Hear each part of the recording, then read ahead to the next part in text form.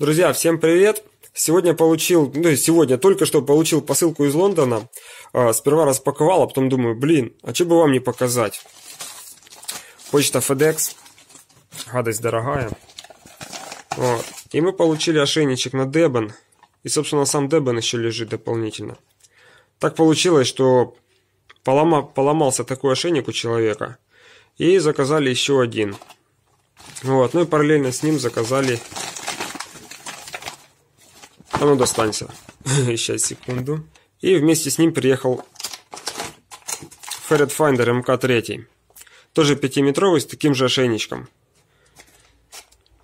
Вот, поэтому сейчас есть такая игрушка для норника.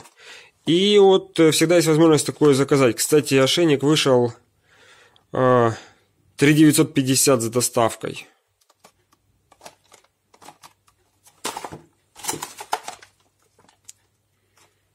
Этот тоже вышел чуть-чуть подороже. Цену, цену сейчас не скажу, но тоже что-то в районе 8.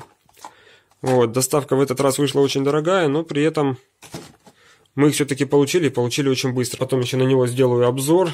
У меня, к сожалению, не получилось нормально снять предыдущий обзор в карьере. Я думаю, в этот раз ну, хотя бы с, этим что, что-то получится, что-то сделаю. Что еще сказать? Вышла посылка очень дорогая, курс э, офигенно большой, но, тем не менее, заказали, поэтому пока еще эта штука есть, а это уже в понедельник уйдет своему новому хозяину. Кому надо будет, пишите, обращайтесь, можно заказать. Почта работает, работает быстро, но в этом году они гораздо дороже, чем были до этого. Спасибо. Если будут вопросы, пишите, спрашивайте, кто пользуется.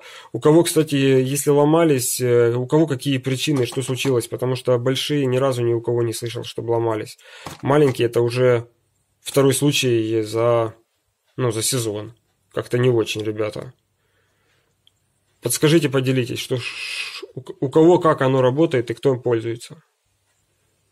Все, спасибо, на связи. Если будут вопросы, пишите, спрашивайте. Мои контакты на экране. Всего доброго.